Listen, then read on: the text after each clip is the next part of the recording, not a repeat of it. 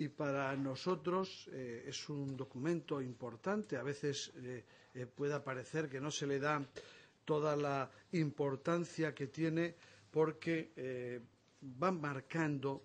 la política sanitaria de salud pública asistencial en todos los ámbitos de nuestra comunidad autónoma durante un periodo de tiempo como es este, estos cinco años, que incluso abarcan más de lo que es habitualmente un, periodo de legislatura, es decir, eh, tiene una continuidad y lleva con él en todos, prácticamente en todos los ámbitos que tienen que ver con temas relacionados con la salud. Este, este plan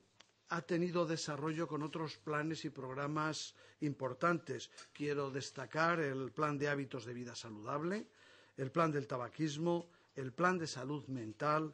la, el, los, el, programa, el nuevo programa de atención al niño sano, el que hemos eh, eh, anunciado hace no mucho tiempo y con unos manuales específicos, unas indicaciones y unos protocolos para los profesionales sanitarios en relación a la tuberculosis. Yo creo que tuvo una gran importancia y además está teniendo un desarrollo y una efectividad notoria eh, la implantación del código ictus también estaba previsto en el, en el plan de salud. También los programas eh, de detección precoz del cáncer de colon nacieron y estaban previstos en este segundo plan de salud de La Rioja. Y recientemente eh, ha habido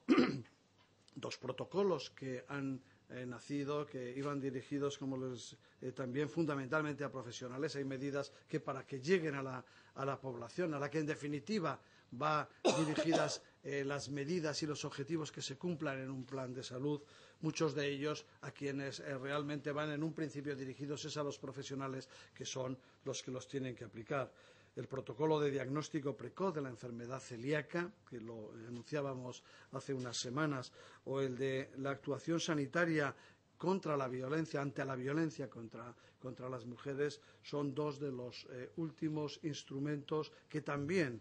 bajo el paraguas y bajo el marco que supone un plan de salud, han sido eh, llevados a cabo. Utilizando datos de la Agencia Española de Seguridad Alimentaria, es un organismo eh, oficial, no es autonómico, por lo tanto no tiene ningún sesgo de, que el dato no sea absolutamente correcto. Y son datos referidos al 2011. Eh, hay que tener en cuenta que solo se mide la obesidad infantil, no se mide en estos porcentajes la de adultos, no existe ese dato para contrastar, pero en La Rioja, en el año 2011,